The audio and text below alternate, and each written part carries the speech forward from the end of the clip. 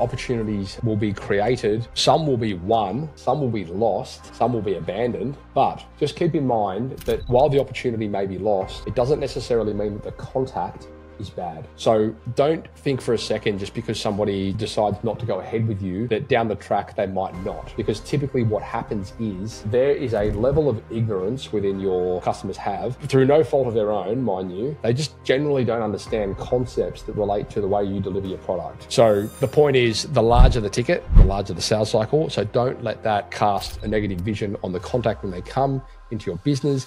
This is your opportunity from there on to showcase your expertise, educate, nurture, and just generally be useful so that they move themselves and qualify themselves further and further and further along your sales pipeline.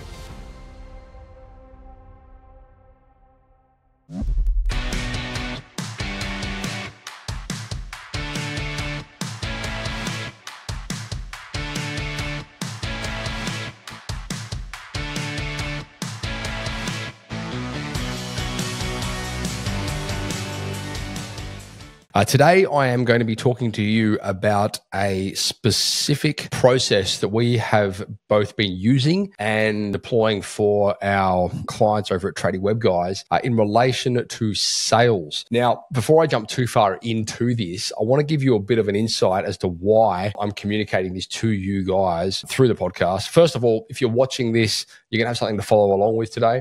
So I'm going to take you through like a bit of a visual re- representation of what I'm talking about. Second of all, if you are driving and you're listening to this audio, most of our consumption is through audio. So don't freak out. This will be available as a video. Head across to the siteshed.com where you can find this episode. The video will live on there so you can watch it.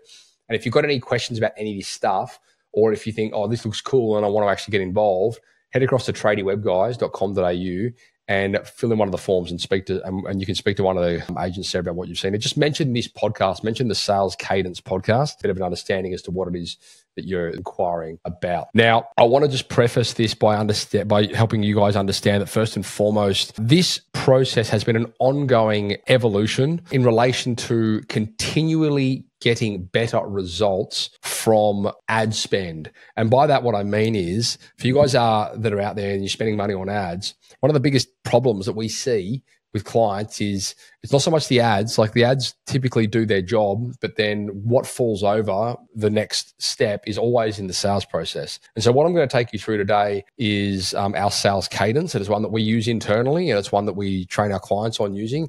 And this has formidable conversions. Like it's it's incredible. If you actually follow this process, you can 10x your conversions like pretty much with the snap of a finger.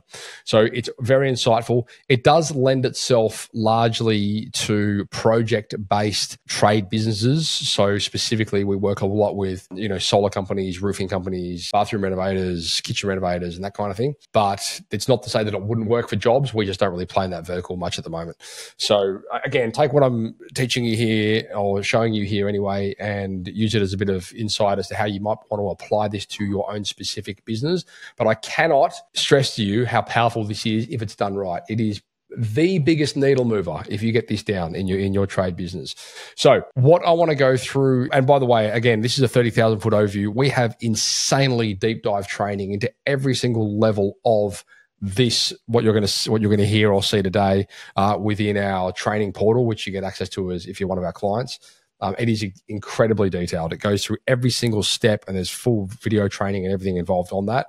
And the reason we do that, of course, is to improve the conversions at the end result. And the reason that we put these together is because all too often you we find ourselves in scenarios where you know people come to you for leads, we generate the leads, and then they don't service the leads correctly, and so immediately the default is the leads are no good. But it's very rarely the case. It's almost entirely comes down to how those leads have been serviced and taking them through that cadence. And yeah, we've got um, incredible results the, the, to uh, to prove it, including you know one of our most recent clients. The roofing company through deploying this process. Well, actually, sorry, I should clarify. Um, what you're going to see is actually a lot of work. And I understand that it is quite a resource heavy request in order to make to get these things done the way that we are showing you. However, if you want the outcome, you've got to do the thing, right? And this is, it does take a lot of work, but it's worthwhile. Now, to the point now where we will actually place in our client's business, and we do, we actually place sales agents in there to do this for them.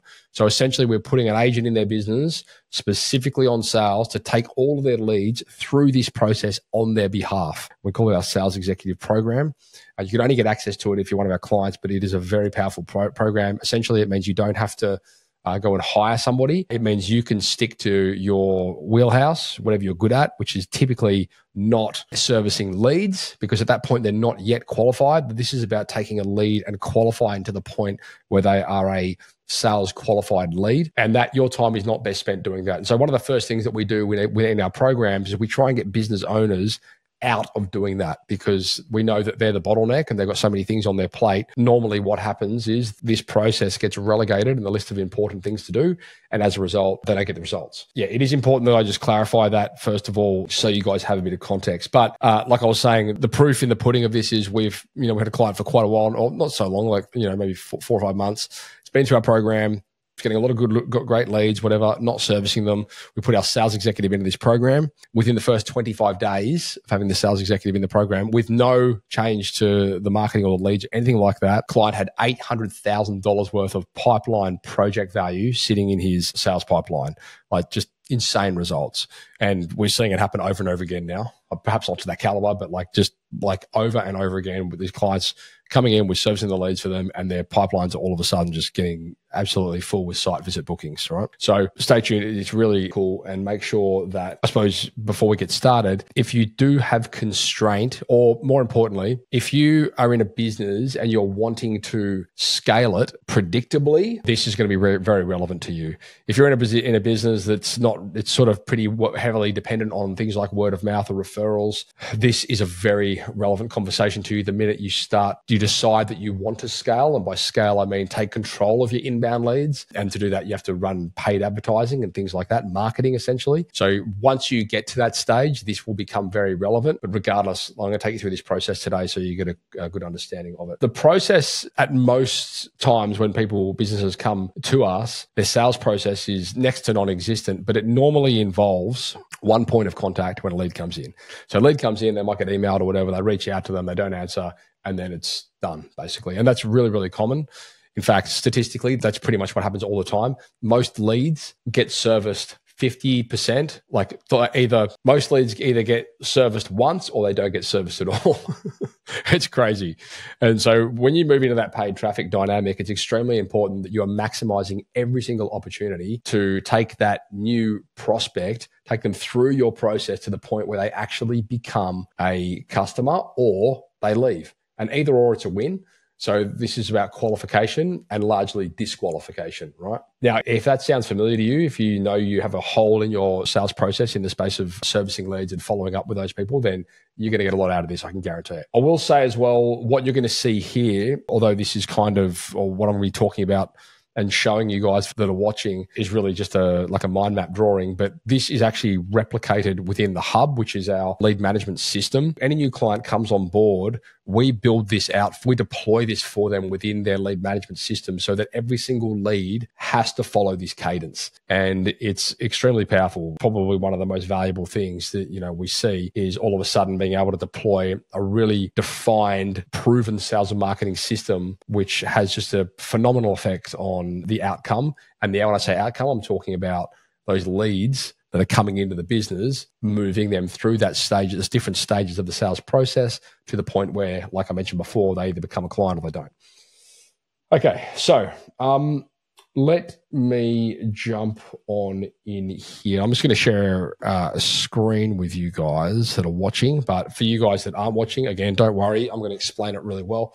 So you don't really have to watch this. You should be fine with the audio. But if you want to watch it, again, thesiteshed.com, find the, um, if you'll find this podcast, it'll be sales cadence. Just search it in the search bar and the video will be in there.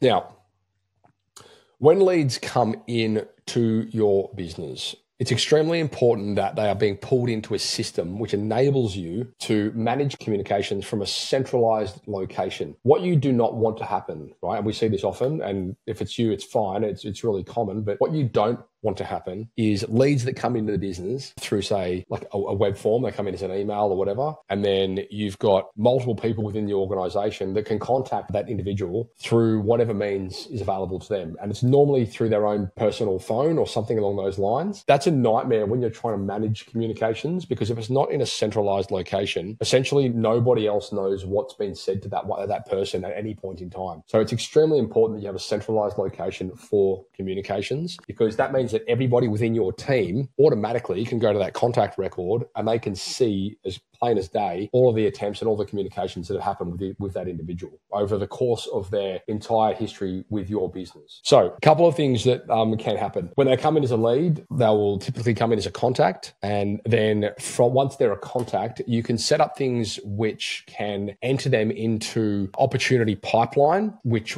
you don't have to do that, but typically we would do that with any campaigns that we're running for clients because we want to make sure that any lead that comes in has an opportunity uh, tied to that contact record because the opportunity opportunity is what you would then move through the sales process, right? I'll say as well, while we're at this point in the conversation, although uh, leads will come into your business regularly. Opportunities will be created. Some will be won, some will be lost, some will be abandoned. But just keep in mind that while the opportunity may be lost, it doesn't necessarily mean that the contact is bad. So don't think for a second just because somebody d- decides not to go ahead with you that down the track they might not because typically what happens is there is a level of ignorance within your customers have through no fault of their own, mind you. They just generally don't understand concepts that relate to the way you deliver your product.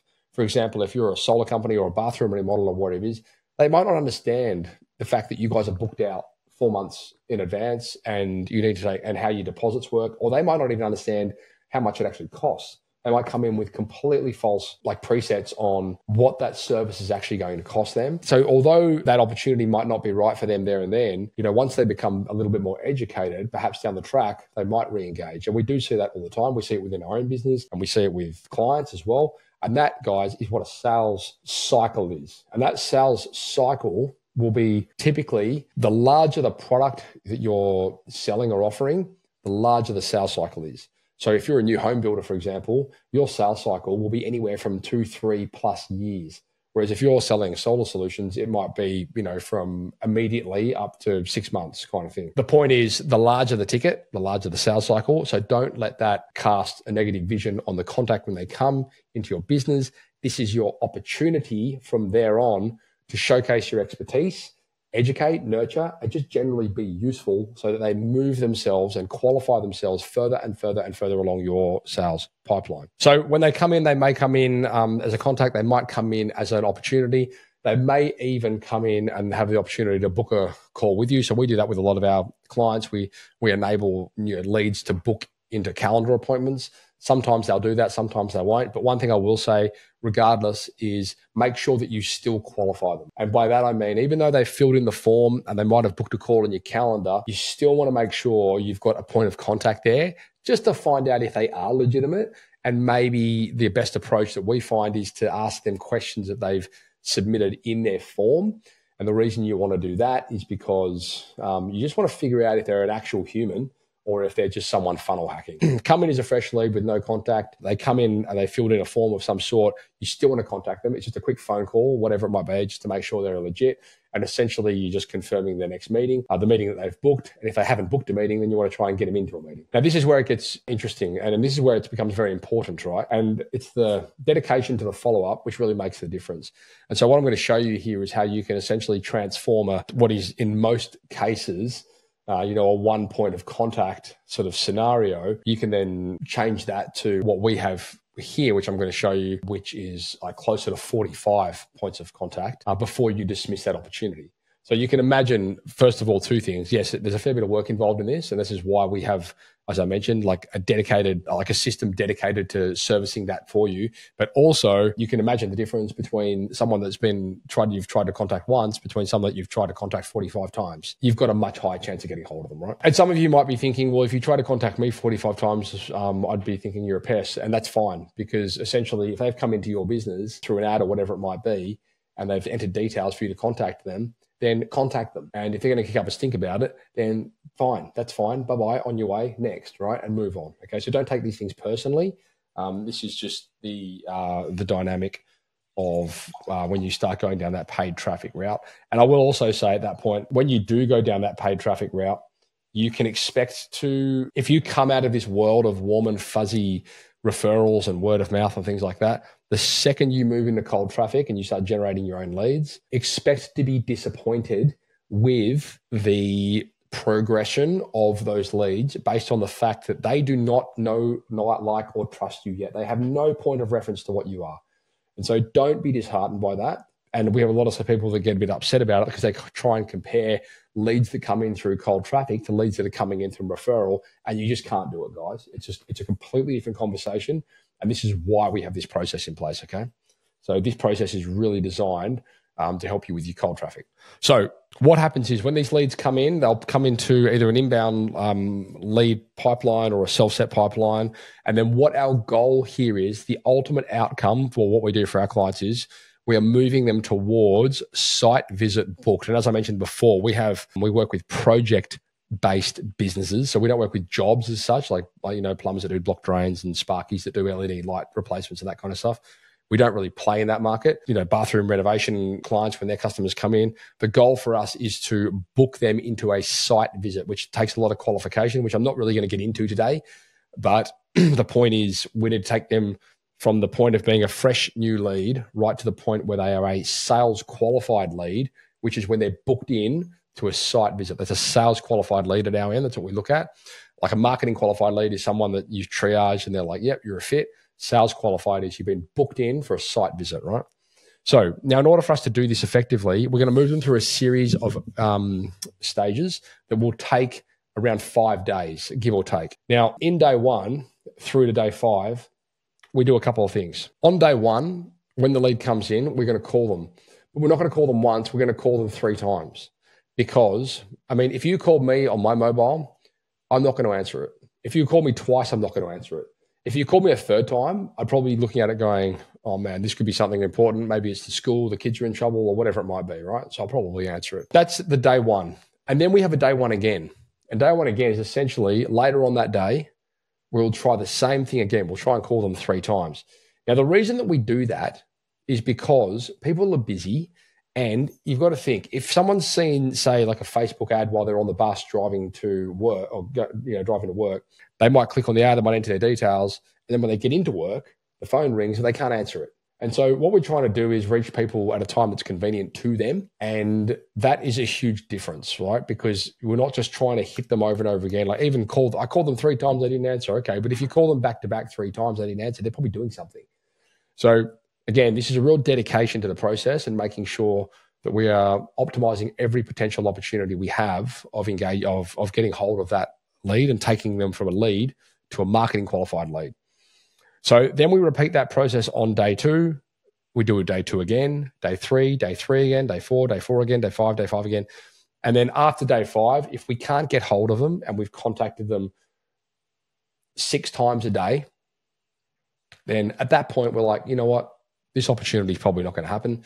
Uh, let's um, let's abandon this opportunity, and then we remove it from the system. We don't we don't remove the contact. We remove the opportunity. Okay, and again, I just want to really drive that home. The opportunity might not be right, but the contact might still be eventually, and don't disregard that. Okay. So then the goal here is we want to be driving people. So if we do get hold of someone and we can book them into a call, like let's call it discovery or triage or whatever you want to call it, then we'll move them to the next stage here, which is the discovery call. And in the discovery call, essentially what we're doing is we're trying to establish whether or not they're a good fit for the business. And well, that might change based on a number of different variables. But importantly, whoever's handling those triage calls, they're asking questions which qualify and or disqualify that person or that opportunity from progressing to the next stage, which is the site visit. And some of you guys may do site visits and some of you guys maybe you don't.